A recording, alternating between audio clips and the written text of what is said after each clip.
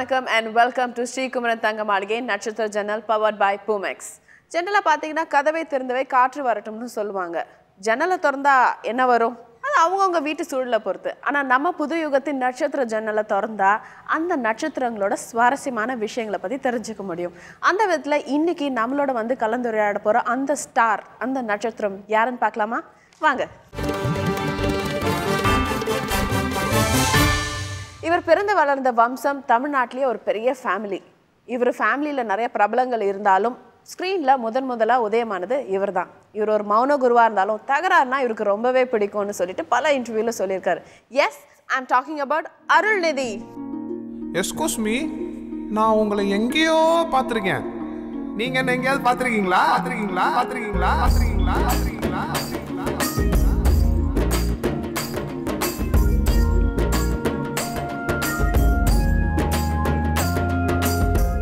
Welcome welcome welcome Arul thank you for coming எங்களோட ஷோக்கு okay உங்களை பார்த்தோன்னே ஃபர்ஸ்ட் வந்து பயங்கரமான ஒரு மிக்சடான அது உட்காந்துட்டு இருக்க அந்த ஒரு செட்டப்பு ஒரு பார்க்குற ஒரு பார்வை பின்னாடி இருக்கிற அந்த ஃபோட்டோ ஒரே ஒரு ஒரு பயங்கரமான ஒரு கலவையான ஒரு lot of personalities showing off உண்மையிலுமே அருள்நிதின்றவர் யார்? நான் தான். நீங்க தான் தெரியும். நீங்கன்னா who is it like what is your personality I am very talkative ah. அது when I get used to someone very close பேசிட்டே இருப்பேன். எனக்கு ஒரு கெட்ட பழக்கம் இருக்கு. கேள்வி நானே கேட்டு பதிலும் நானே சொல்லிப்பேன். அந்த டைம் மற்றவங்களுக்கு கொடுக்குறதே கிடையாது. ஏன்னா என்னை பற்றியான கேள்வியாக இருக்கும். அதை கேட்டுட்டு நானே என்னை கலாய்ச்சிப்பேன். ஏன்னா மற்றவங்க கலாய்ச்சா டக்குன்னு ஏற்றுக்க முடியாதுல்ல. அப்படியா? பெட்டர் இல்லை. That shows you like yourself so much it's not everybody has to like them self இல்ல அந்த மாதிரி இல்லை. எவ்ரிபடிக்காக you can't hate yourself yeah அது வேணா ஒத்துக்கலாம். பட் ஆனா அப்படியும் சொல்ல முடியாது இல்லை actually but yeah that's the but நானும் வந்து சில விஷயம் எனக்குள்ள எனக்கு பிடிக்காது. ஐம் வெரி ஷார்ட் டெம்பர்ட் ஆனால் அது ரீசனுக்கு இருக்கும். For a reason for a reason only I'll get angry but ஓவராக கோவப்பட்டுருவேன். கோவப்பட்டேன்னா ஒரு ஃபைவ் டென் மினிட்ஸில் திருப்பி நேரில் இருக்காங்களோ இல்லை ஃபோன் பண்ணி சாரி கேட்டுருவேன். ஏன்னா அவங்க பண்ணது தப்பு சின்னதாக இருந்தால் கூட என்னோட திட்டு பெருசாக இருக்கும். மன்னிப்பு அதோட பெருசாக இருக்கும். அப்படியா? ஆமாம் நம்பலாமா இந்த குவாலிட்டிய நம்மளனா நான் கோவப்படுத்தி பாருங்க திட்டுறேன் அதுக்கப்புறம் ஒரு அஞ்சு நிமிஷத்துல திருப்பி சாரி சொல்றேன். உங்களோட படங்கள் எப்படி அருள்நிதிக்கு வந்து நடிக்கணும்னு சின்ன வயசுலேருந்தே ஆசையா? Are you thought your very ரொம்ப நம்ம நல்லா இருக்கும் அழகா இருக்கும் ஹீரோ மாதிரி இருக்கும் நல்ல ஹைட் பர்சனாலிட்டி இருக்கு. இதெல்லாம் எப்படி? How did it start like actually அப்பா வந்து ஒரு டுவெண்ட்டி இயர்ஸ் முன்னாடியே டுவெண்ட்டி டுவெண்ட்டி டூ இயர்ஸ் முன்னாடியே ப்ரொடியூசர் கார்த்தி சார் வச்சு கோபுராசிலன்ற படம் எடுத்திருக்காரு. அதுல Ilaiyaraaja sir music P PC Sreeram Priyadarshan sir எல்லாருமே இருந்தாங்க. இட்ஸ் அ பிக் செட்டப் எங்கள் அப்பா ஆக்சுவலாக இன்னைக்கு வரைக்கும் சொல்லுவார் அன்றைக்கி அவ்வளோண்டில் எடுத்தேன்ப்பா அந்த படத்தை இன்றைக்கி அதே படத்தை அந்த செட்டப்லாம் வச்சு எடுக்கணும்னா எவ்வளோ ஆகும்? அப்படின்னு. அந்த டைமில் அப்பா கம்பெனி நேமே வந்து அருள்நிதி ஃபிலிம்ஸ் அருள்நிதி ஃபிலிம்ஸ்னு வச்சுருந்தாரு ப்ரொடக்ஷனுக்கு அருள்நிதி கம்பைன்ஸ்னு டிஸ்ட்ரிபியூஷன் வச்சுருந்தாரு. வேதமூர்த்தி அங்கிள் மாயா வேதமூர்த்தி இருக்காங்கல்ல அவங்க ஹஸ்பண்டோட பார்ட்னர்ஷிப்பில் பண்ணிட்டு இருந்தார். அப்போ அவங்க சன்னும் நானும் தான் வந்து ஃப்ரண்ட்டில் படம் டைட்டில் வரும்ல அப்போ எங்கள் கொல்லுப்பாட்டி வருவாங்க. அதுக்கு பூ போடணும் நானும் அந்த பையனும். நான் ரொம்ப அது எங்கள் தாத்தா வீட்டில் ஆலில் தான் எடுத்தாங்க. இன்னும் ஞாபகம் இருக்கு நான் போடவே மாட்டேன்ட்டேன் பூ. சப்ப மேட்ரு பூ போடணும் அவ்வளோதான் ஷார்ட்டே எல்லாம் பெரிய பெரிய ஆள்லாம் உட்காந்துருக்காங்க நமக்கு சின்ன வயசுல யார் பெருசு யார் சிறுசுன்னுலாம் தெரியாதுல்ல. எனக்கு ஆக்சுவலாக இப்போவே அது தெரியாது. இவங்க கிட்ட இப்படி தான் இருக்கணும் அவங்க கிட்ட அப்படி தான் இருக்கணுன்றது எனக்கு தெரியாது. அப்புறம் எங்கள் அப்பா என்ன முடிவு எடுத்தாருன்னு தெரில மேலே போய் என்ன போட்டாரு? கீழே வந்தேன். ஆட்டோமேட்டிக்காக பூவை போட்டுட்டேன். அப்போலேருந்தே எனக்குள்ள ஒரு சின்ன இன்ட்ரெஸ்ட் ஒன்று இருக்கும். பார்த்ததுக்கு அப்புறம். ஏன்னா ஏன்னா நானே நிறையா ஃபோட்டோ எடுத்துப்பேன். எடுத்துட்டு ஆனால் வெளியில யாருக்கிட்டையுமே என்றைக்குமே சொன்னது கிடையாது. நம்ம எல்லாருக்குள்ளேயுமே ஒரு நடிகங்க இருப்பாங்க. நம்ம நமக்கு அந்த இன்ட்ரெஸ்ட் இல்லைன்னா கூட நம்ம ஒரு பாட்டே கேட்குறோம்னா ஏதோ ஒரு நேரத்துல இந்த பாட்டில் நம்மளை வச்சு யோசிப்போம். ஓகே ஓகேங்களா? அப்படி இருக்கும்போது காலேஜ் படிக்கும்போது மாடலிங் பண்ணிட்டு இருந்தேன். என்னோட ஃப்ரெண்டு கணேஷ் குராங்னு ஒருத்தர் இருக்காரு. அவர் தான் ஃபோட்டோ ஷூட் எடுத்தாரு நான் ஃபஸ்ட்டு நான் மாடலிங்னா ஒரு ரெண்டே ரெண்டு ரேம் ஷோ அவர் ஒரு இன்ஃபேக்ட் ஒன்று தான் பண்ணிருக்கேன். அவரோட இதுக்காக. அப்போ ஃபோட்டோ ஷூட் எடுக்கும்போது அவர் கொஞ்சம் ஓவரா உசுப்பேத்தி விட்டாரு. சூப்பரா இருக்கு. சான்ஸே இல்லை. ட்ரை பண்ணி பார்ப்போம்னு வந்தேன். முதல் படத்துல ரொம்ப கஷ்டப்பட்டேன். பட் அருளுக்கு வந்து அஹ், வித்தியாசமா அதாவது நீங்க இல்லாத ஒரு அதாவது உங்களோட எந்த ஒரு ஒரு அடையாளமும் இல்லாத ஒரு கேரக்டர் அப்படின்னு பண்றதுன்னா எப்ப அந்த மாதிரி அருளை பார்க்கலாம்? ஏன் எனக்குள்ள நிறையா இருக்கு. லைக் குழந்தைத்தனம் இருக்கு எல்லாமே இருக்கு. நான் பண்ணாத விஷயங்கள்னு எதுவுமே இருக்காது. எனக்கு தெரிஞ்சு நான் அந்த ஹாஸ்பிட்டல் சீக்வன்ஸ் மௌனகுருவில் இருக்கும்போது உண்மையாகவே ஒரு ஹாஸ்பிட்டல் செட்லாம் போடல. உண்மையாகவே ஒரு ஹாஸ்பிட்டலில் போய் தான் அதை பண்ணோம். அது எனக்கு என்ன பண்ணுறதுனே புரியல ஃபஸ்ட்டு எனக்கு ரொம்ப ஒரு மாதிரி ஒரு ஃபீலிங்காக இருந்துச்சு.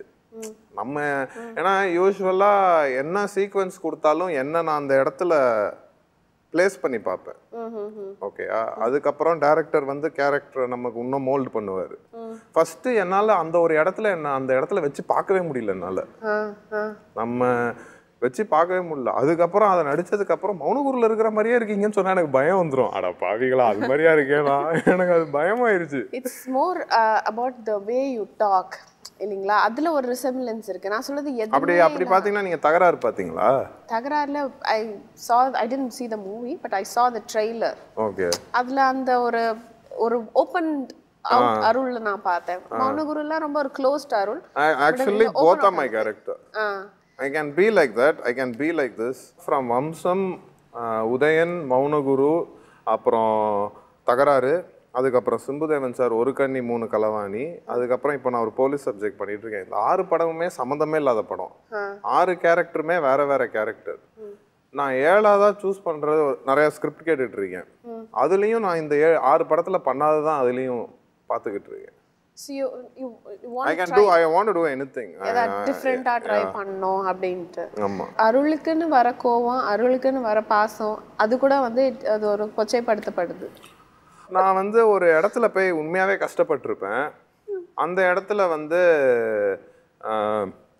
இன்னார் பேரன் அதான் இது பண்றான் அப்படின்வாங்க அந்த இடத்துல இட் ஹர்ட் மீ ஓகேயா ஆனா சிலர் வந்து என்ன சிலர் வந்து இன்னும் அதை நம்மளை சந்தோஷப்படுத்துவாங்க வம்சம்லலாம் நான் ஒரு கம்மையில் இறங்கி ஷார்ட் இருக்கும். கம்மைனா அங்கேயே எல்லாமே பண்ணுவாங்க ஆக்சுவலாக அது டூ எவ்ரி திங் தேர் அதில் தான் ஏறி இறங்கிலாம் வரணும். அந்த செவுத்து மேலே ஏறணும். ஷார்ட் முடிச்சுட்டு ஏறி தான் வரணும். என் கால் ஃபுல்லாக ஈரமாக இருந்துச்சு. ஒரு ஒரு தடவையும் அந்த செவுத்துல ஏறுமா வழுக்கி வழுக்கி விழுவேன். இந்த முட்டிலே அடிபடும். யாரோ ஒரு ஆயா அவங்க வந்து பாண்டியராச்சார் மேலே உட்காந்துருந்தாரு அப்போ சொல்லிட்டு போனாங்க அந்த இன்னார் பேரனை என்ன பாடுபடுத்துது பாரு அப்படின்ட்டாங்க. ஏங்க உங்களை வச்சு படம் பண்ணுறதுக்கு எனக்கு இது வேற பேராங்க அப்படின்னு சில சில பேர் தெல் பி ஸ்வீட் சில பேர் தெல் பி ரியலி ரூட் அவங்களுக்கு தெரியாது. நான் மொக்கையா நடிக்கணும்னா கூட நான் கஷ்டப்படணும் அதுக்கு. நான் நல்லா நடிக்கணும்னாலும் நான் அதுக்கு கஷ்டப்படணும். சிலர்லாம் என்ன சொல்லுவாங்க ரொம்ப ஈஸியாக பழகுறான் ரொம்ப ஜாலியாக பழகுறான்னுவாங்க. அதே இடத்துல நம்ம கோவப்பட்டோன்னு வைங்க அவங்க அந்த இடம்ப்பா அதனால தான்ப்பா அப்படின்றவாங்க. அப்படி அது. இந்த அருளுக்கு இந்த ஸ்லாங் எங்கேருந்து வந்தது? மதுரை பேஸ்ட் இருக்கா? எனக்கு மதுரை கோயம்புத்தூர் சென்னை எல்லாம் மிக்ஸ் ஆகிருக்கும் எனக்கு துரைக்கெல்லாம் we have lot of common friends common ஃப்ரெண்ட்ஸ்னால் அது ஒரு நூறு நூற்றம்பது பேர் இருப்பாங்க காமன் ஃப்ரெண்ட்ஸு சின்ன வயசுலேருந்தே அப்படியே எனக்கு அந்த ஸ்லாங் ஒட்டிடுச்சு ரெண்டாவது வம்சம்ல நிறைய எனக்கு இந்த slang ஒட்டிடுச்சு okay. Did you notice that it's a ஒரு ஒரு மேஜர் சேஞ்ச் உங்க உங்க மேல? அண்ட் இப்போ பண்ணிட்டு இருக்க திரைப்படங்களும் மதுரை பேஸ்டுங்களா இல்லை நான் ஃபர்ஸ்ட் டைம் சிம்புதேவன் சார் படம் வந்து இட்ஸ் ரோலே மாடர்ன் சிட்டியில் நடக்கிற. It's like rom com okay ஒரு மூணு ஆமாம் full and full. களவாணிகளும் okay. Full and full romantic comedy அடுத்து போலீஸ் சப்ஜெக்ட் பண்ணுறதுல ஆப்வியஸாக போலீஸ் அதுலேருந்து ஏதாவது ஒரு சும்மா ஒரு டயலாக் பேசி காமிங்களேன் இந்த மாதிரி ஸ்கிரிப்ட் எல்லாம் வெளில சொன்னா ஐயோ நான் ட்ரெய்லர்லேயே சொல்லியிருப்பேன். ஒரு கண்ணி மூணு களவாணிகள்ல. நமக்கு சொந்தமானதை யாருக்கிட்டையும் விட்டு கொடுத்துடக்கூடாது. தூக்கிடணும் அப்படின்னு. எல்லாம் பகிரங்கமான இது. பஞ்ச் டைலாக் கிடையாது. இது படத்துல ஃப்ளோல வர டைலாக் அவ்வளவுதான். உண்மைதானே? நமக்கு சொந்தமானதை யாருக்கும் விட்டு கொடுத்துடக்கூடாது. தூக்கிடணும். என்னால தூக்க முடியல அது வேற விஷயம். அடுத்த கேள்விக்கு அது- அதுதான். சொந்த லைஃப்ல எவ்வளவு நான் தான் சொன்னேன்ல என்கிட்டலாம் கேள்வியே கேட்க வேண்டாம். ஒரு கேள்வி கேட்டாலே பதினஞ்சு ஆன்சர் வரும். எனக்கு ஏன்னா இந்த பிரச்சனை ஒன்று இருக்கு. நான் பதில் சொல்லிட்டே இருப்பேன். அப்பவே என் மைண்ட்ல ஓடும். இவங்க வந்து இந்த கேள்வியை கேட்பாங்களோ அப்படின்னு. அதுக்கும் சேர்த்து பதில சொல்லிடுவேன் எனக்கு கண்டிப்பா தெரியும் நீங்க கேட்பீங்கன்னு அபவுட் யுவர் காலேஜ் ரொம்ப வருஷமா போராடி இருக்கீங்க போல இருக்கு உங்க காலேஜ்க்கு. அப்படின்னு உங்ககிட்ட யார் சொல்றா? என்ன என்ன- நான் two thousand four to two thousand seven லயோலாவில் படித்தேன் ஓகே. அதுதான் என் course time two thousand seven நான் முடிக்கணும். லயோலாவில் என்னன்னா அரியர் வச்சா டூ தௌசண்ட் டென்னுக்குள்ள அரியரை கிளியர் பண்ணணும். த்ரீ இயர்ஸ் டைம் திருப்பி முதல்ல இருந்து. ரெண்டாயிரத்தி பத்துக்குள்ள முடிக்கலன்னா. அந்த நெஞ்சு வலி எனக்கு ரெண்டாயிரத்தி ஒம்போதுல தான் வந்துச்சு. முடிச்சிட்டேன். கிட்டத்தட்ட ஒரு இருபத்தி மூணு இருபத்தி நாலு பேப்பர் எழுதினேன் கடைசி செமஸ்டர் ஆமா அதுதான் நான் இந்த நம்ம சேனல்லையே அப்படியே எம்பிபிஎஸ் போய் படிச்சிருக்கலாம்ல. இல்ல அதையும் யோசிச்சேன். பிகாமுக்கே அஞ்சு வருஷம் அதுனா எம்பிபிஎஸ்க்கு என்ன ஆகுது? அவ்வளோ இன்ட்ரெஸ்ட் இல்ல படிப்பு மேல. அப்படின்னு கிடையாது. சம்மந்தம் இருக்கா நான் இப்போ நான் பண்றதுக்கும் அதுக்கும். அப்படி கிடையாது பட் யூ எவ்வளோ learn more things actually you feel cinema yeah you respect you see lot of people அரும்பாடுபட்டு பிகாம் முடிச்சிருக்கீங்க. ஏங்க இருபத்தி மூணு பேப்பர் ஒரே ஸ்ட்ரெச்சில் எழுதி முடிச்சாங்க. எக்ஸாமுக்கு போயிருந்தேன்னா அப்பவே முடிச்சிருப்பேன். எக்ஸாமுக்கு போக மாட்டேன். அட்டெண்டே பண்ணாம. அது ஏன்னா காலேஜ் எங்க காலேஜ்ல அட்டெண்டன்ஸ் இல்லைன்னா எழுத விட மாட்டாங்க. அதுவும் எங்க அப்பா வந்து அதுவும் எனக்கு ரொம்ப வாட்ச் பண்ணுவாரு. அவங்களே பாவம் புண்ணியம் பார்த்து இவ்வளோ பர்சன்டேஜ் தான் இருக்கு. மூணே மூணு பேப்பர் மட்டும் அடிச்சிடுறோம். ரெண்டு பேப்பர் எழுதிட்டோம். இவன் பண்ண வேலைக்கு அஞ்சு பேப்பரையும் அடிச்சிருங்கன்னு இப்படியே எனக்கு ஒரு பத்து அரியர் விழுந்திருக்கும். அப்பாவும் பையனும் எவ்வளவு சண்டை போடுவீங்க? அது அப் எனக்கு கோபம் இருக்கிற கோபம் பாசம் இது ரெண்டுமே எனக்கு அப்பா மாதிரி. அப்பாவும் ரொம்ப ஷார்ட் டெம்பர் வீட்டில் எல்லாருமே ஆக்சுவலாக அப்பாவுக்கு பயப்படுவாங்க. டக்குன்னு கோவப்பட்டுருவாப்புல அப்படின்னு. நான் சின்ன வயசுலலாம் என் கசின்ஸ் வீட்டில் ஸ்டே பண்ணும்போது கூட டேய் டேய் நீ கா போயிடுறா காலைல டியூஷன்லாம் இருக்கும்டா உனக்கு. உங்கள் அப்பா அப்புறம் எங்களை ஃபோன் பண்ணி திட்டுவாருன்ற அளவுக்கு. அதே மாதிரி அப்பாவோட கோ கோவம் வந்து ரொம்ப நியா- நியாயமான விஷயத்துக்கா இருக்கும். எல்லார்கிட்டயும் பாசமாக இருப்பார். ரொம்ப அதாவது நான் என்னோட ரொம்ப நார்மலான ஒரு பர்சன் ஏன்னா என்னையே நிறைய பேர் எல்லாரோடையும் பழகுற இது பண்ற. அப்பா வந்து என்னோட ரொம்ப என்னோட ஒரு ஆயிரம் மடங்கு ரொம்ப down to earth okay Arul coming back to your life வீட்டை விட்டு நீங்க ஓடி போயிட்டீங்க ஒரு தரம். ஏன் ஓடி போனீங்க? எதுக்கு ஓடி போனீங்க? எப்படி உங்களை மீட்டு கூட்டிட்டு வந்தாங்க? I was in a relationship for a very long time it didn't work out ஏன்டா நீ வந்து பேசுனது இந்த விஷயத்த பத்தி இதுல உனக்கு இங்கிலீஷ் வேறையான்னு கேட்டுருவாங்க. நான் தமிழ்லயே பேசுறேன். வீட்ல கண்டிப்பா கேட்பாங்க. ரொம்ப சின்சியரா இருந்தேன். ஒர்க் அவுட் ஆல ஃபீல் பண்ணிட்டேன். So you want to just get out I was like upset with so many people that time. So அப்போ I wasn't in movies. It happened in 2008 அது மாதிரி. அன்னைக்கு நல்லா ஞாபகம் இருக்கு. அஹ், என்னோட கசின் ஒரு சின்ன பொண்ணுக்கு பர்த்டே ஆறு மணிக்கு ஃபோன் பண்ணி அந்த பர்த்டே வரேன்னு என் கசின் கிட்ட சொல்கிறேன் ஆறரை மணிக்கு காணாம போயிட்டேன். ஓ. அந்த டைமில் கொஞ்சம் இன்ஸ்டண்ட்டாக டக்கு டக்கு டக்குன்னு முடிவெடுப்பேன் அப்போ போயிட்டேன். அப்புறம் எல்லாம் கண்டுபிடிச்சி கூப்பிட்டு வந்துட்டாங்க. எங்க போயிருந்தீங்க? எங்கன்னா லைக் பெச ஃபஸ்ட்டு ஒரு ஆட்டோ எடுத்தேன். ஆட்டோ எடுத்து போயான்ட்டேன். எங்கேயாவது போயா அப்படின்ட்டேன் வீட்டு பக்கத்தில் இருக்கிற ஆட்டோ தான். அவர் வந்து சரி அவருக்கு இந்த ஐடியாவே இல்லை. சரி எங்கேயோ போக சொல்கிறாரு தெரிஞ்ச ஆள் போயிட்டே இருந்தேன். ஃபஸ்ட்டு சாந்தம் சர்ச்சில் போய் அப்போ அடிக்கடி போவேன் சாந்தம் சர்ச் சர்ச்சுக்குள்ளே போக மாட்டேன். இந்த சைடு கேண்டில்லாம் ஏற்றுவாங்கல்ல அங்கே போவேன். அங்கே போய் கேண்டில் ஏற்றிட்டு அங்கேயே உட்காந்துட்டேன். உட்காந்து ரொம்ப நேரம் யோசித்தேன் யோசிக்கிறேன் யோசிக்கிறேன். யோசிச்சுட்டே இருக்கேன். பாவம் எல்லாருக்கும் நான் சாந்தமில் இருக்கேன்னு சிக்னல் கிடைக்குது. ஆனால் சா சர்ச்சுக்குள்ளே இருக்கேன்றது யாருக்குமே தெரியாது. சாந்தம்ல தான் இருக்கேன்னு தெரிஞ்சிருச்சு. ஆனால் சர்ச்சுக்குள்ளே இருக்கேன்னு எதிர்பார்க்கவே இல்லை அவங்க. இவன் எங்க அங்கே போக போகிறான்னு நினச்சிருப்பாங்கன்னு நினைக்கிறேன். அப்புறம் அப்படியே ஒரு ஒரு இடமா ஆட்டோலயே சுற்றிட்டு இருந்தேன். நடுவில் ஃபோன் ஆன் பண்ணுவேன். அப்போ ஒருத்தங்க ஃபோன் பண்ணாங்க ரெண்டு மூணு வார்த்தை ரொம்ப எனக்கு ஃபீல் ஆகிற மாதிரி பேர்லாம் நான் சொல்லலை. ரொம்ப ஃபீ ஃபீல் ஆனாங்க. எனக்கு அதுக்கப்புறம் சரி நம்ம ஏதோ தப்பு பண்ணுறோமோ நினச்சிட்டு ஆனால் திருப்பி ஃபோனை ஆஃப் பண்ணிட்டேன். இது மாதிரியே நடந்துட்டு இருந்துச்சு. எங்கள் தாத்தா தவிர மொத்த குடும்பமும் என் வீட்டில் இருந்துச்சு அப்போ தாத்தா தவிர மீது எல்லாருமே இருந்தாங்க. தாத்தா பாட்டி தவிர எல்லாருமே இருந்தாங்க. அப்போ அப்போ நான் இன்னொன்று ஒரு ஃப்ரெண்டுக்கு ஃபோன் பண்ணேன். ஃப்ரெண்டுக்கு ஃபோன் பண்ணி அவனுக்கு இந்த விஷயமே தெரியாது. எங்கே இருக்க? பெசநகர் வா அப்படின்னேன் நான் பெசநகர் போகிறதுக்குள்ளே இவங்க ட்ராக் பண்ணிட்டாங்க. நான் ஒருத்தனை கூப்பிட்டதை. அவனுக்கு இங்கேருந்து ஃபோன் போகுது. அவன் என்ன ஏதுன்னே தெரியாமல் நார்மல் ஹலோ அங்கிள் எப்படி இருக்கீங்க? என்ன எப்படி இருக்கீங்க? எப்படி இருக்கீங்க என் பையனை காணையா? அப்படின்னோடனே அவன் இப்போதான் என்கிட்ட பேசினாப்புல அங்கிள் மரியாதையாக கூப்பிட்டு வந்துட்டாங்க. ஆ- ஆ- ஆனா அவன் மாட்டிக்கிட்டான்ற டவுட் எனக்கு வந்துருச்சு. அவன் ஃபோன் எடுக்கல ஒரு நாலஞ்சு வாட்டி. அப்புறம் எங்க உதயாண்ணன் தான் வந்து நான் ஆட்டோவில் போயிட்டு இருக்கேன் ஒரு வண்டியில் ஆட்டோவை பிடிச்சிட்டாரு நடு ரோட்டில் பிடிச்சிட்டு நான் ஆட்டோக்காரனை போயா போயா போயான்னு அவரு ஏ நில்லியா நில்லியான்னு அவரு நிறுத்தி சட்டையை பிடிச்சாங்க. அண்ணே பப்ளிக்காக இருக்குண்ணே உனக்கு இதுக்கு ஒன்றும் குறைச்சல்ல. வண்டியில் ஏறு அப்படின்னாங்க. அப்புறம் ஏறினேன். அப்புறம் நேராக ஒரு ஹோட்டலுக்கு கூப்பிட்டு போ- நான் வீட்டுக்கு போய் சாவடிக்க போகிறாங்கன்னு நினச்சேன். நேராக ஒரு ஹோட்டலுக்கு கூப்பிட்டு போனாங்க. அங்கே ஒரு லாங் டிஸ்கஷன் நடந்துச்சு. ஆனால் ரெண்டாவது சரி விட்டுடுறேன்னே ஆனால் ரெண்டாவது நாள் நான் விடலையே. அதுக்கப்புறம் தொலையாமையே ஃபாலோ பண்ணிட்டு இருந்தேன் அவ்வளோதான் வெரி நைஸ் ஐ மீன் உங்களுக்கு நைஸுங்க இல்ல நைஸ்னா இட்ஸ் இது இதாவது எப்படின்னா ஒரு ஒரு லைஃப்லயும் வந்து ஒரு ஒரு- மெமரபிள் இல்லை நான் இது ஆக்சுவலாக பேசுகிறதே கிடையாது இந்த விஷயத்த. நான் இப்போ பேசினா கூட ஃபீல் ஆயிருவேன் இந்த விஷயத்துக்கு. அதனால யாருக்குமே இந்த விஷயத்த பேசவே விட மாட்டாங்க. வீட்லயும் யாரும் பேச மாட்டாங்க நானும் இந்த விஷயத்த பேச மாட்டேன். காதுலாம் சூடாயிருச்சு பாருங்க. அச்சோ நீங்க உதய்க்கு முன்னாடியே நீங்க நடிக்க வந்துட்டீங்கல்ல. சோ உதய்க்கு நீங்க தான் அட்வைஸ்லாம் பண்ணிருக்கீங்களா? ஏங்க நல்லா இருக்கிறது பிடிக்கலையா?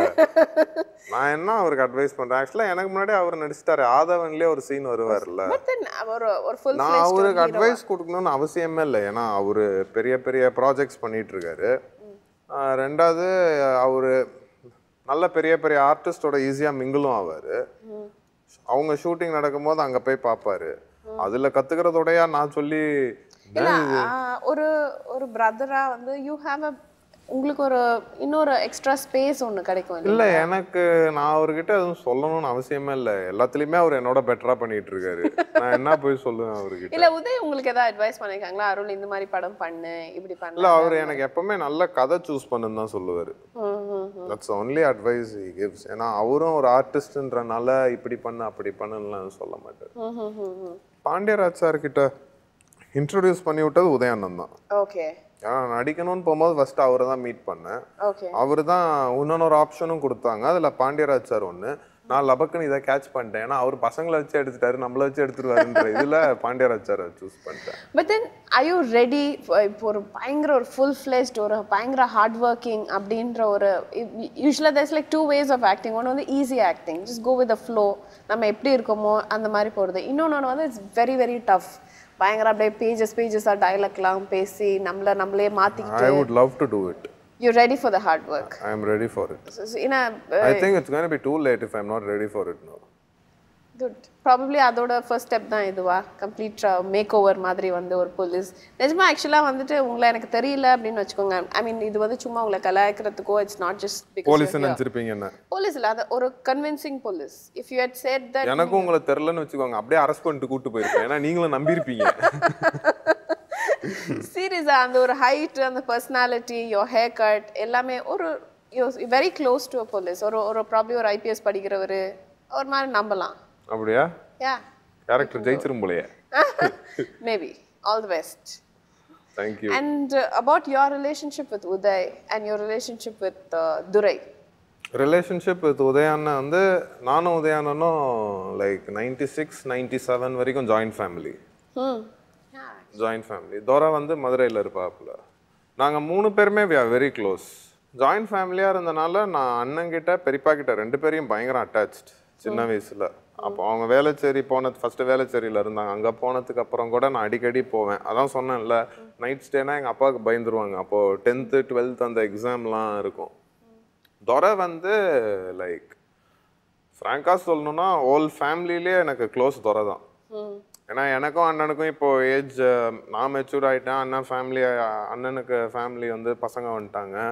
Has a set of friends நானும் துரையும் வி ஆர் இந்த same age group Durai is elder like ten months elder that's all அதே மாதிரி we have என்னோட கிளாஸ்மேட்ஸ்லாம் துறைக்கு கிளாஸ்மேட்டாக இருந்திருக்காங்க. லைக் காலேஜில் இருந்த கிளாஸ்மேட்ஸாக இருக்கட்டும் ஸ்கூல் எல்லாம் it's like we have one big gang so நானும் துறையும் பிரதர்ஸ்ன்றத விட மோர் லைக் ஃப்ரெண்ட்ஸ் எதா இருந்தாலும் துறைகிட்ட சொல்லிடுவேன் வேற யாருக்கிட்டையுமே சொல்ல மாட்டேன். துரை உங்களுக்கு அட்வைஸ் பண்ணுவாரா? நிறைய பண்ணுவான். நிறைய. பண் அட்வைஸ்ன்றத விட அட்வைஸ் என்ன பண்ணுவான்னா அப்பப்போ அவன் தான் வந்து என்கிட்ட நான் ஒரு பப்ளிக் ஃபிகர்ன்றதை ஞாபகப்படுத்துவான். Encourages me a lot also ஒரு படம் பார்த்துட்டு இருப்போம். ப்ரிவ்யூவில் என் படமே ஏதாவது. எனக்கே கடுப்பாக இருக்கும். ஏன் தான் இந்த படத்தை பண்ணோன்னு? எதையாவது ஏன்டா இந்த சீனை பண்ணோன்னு? அப்படின்னும் போது அவன் நம்மளை சூப்பராக இருக்கு அந்த சீன் அப்படின்னும். இதா?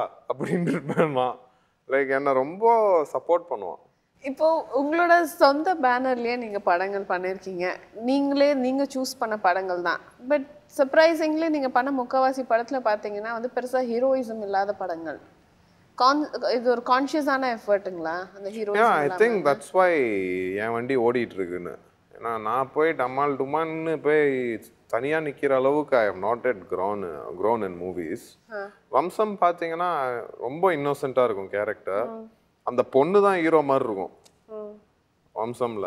அது இன்டர்வல் பிளாக்ல வந்து இன்டர்வல் பிளாக்ல அந்த பொண்ணு கிட்ட வந்து நான் ஒரு டைலாக் வேற சொல்லுவேன். அந்த பொண்ணு கை அந்த ஒரு இடத்துல தான் எனக்கு ஹீரோயிசம் இருக்கும். அது வரைக்கும் நான் அடிக்கவே மாட்டேன். அதுக்கு முன்னாடி அந்த பொண்ணு தான் வில்ல மேலாம் சாணிலாம் கரைச்சி ஊத்தும்.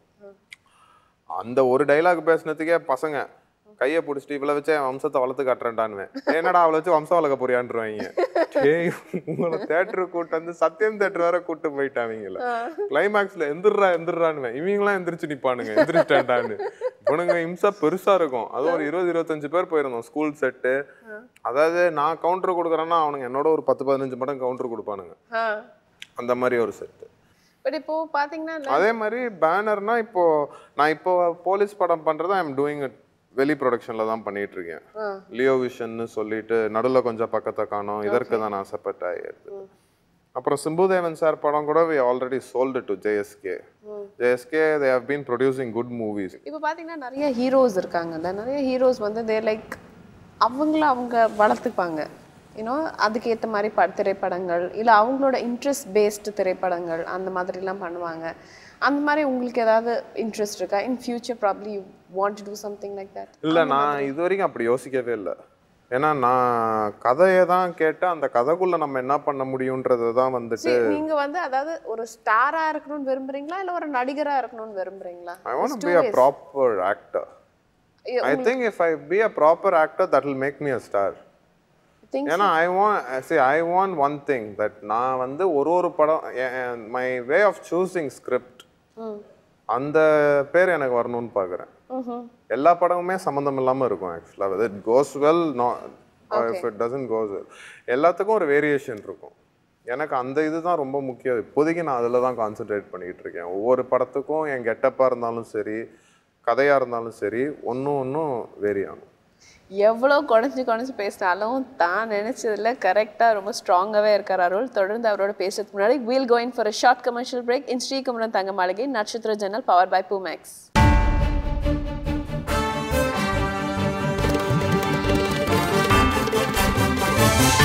Kajal அகர்வால ரொம்ப பிடிக்கும். அனுஷா ஒத்துக்கிட்டாங்கன்னா கட்டிப்பேன். இதுல இந்த ஆப்ஷனை சொன்னா எந்த ஆப்ஷன் கோச்சிக்கும் அந்த ஆப்ஷனை சொன்னா எந்த ஆப்ஷன் கோச்சிக்கும்ன்ற சிக்கல் வேற இருக்கு.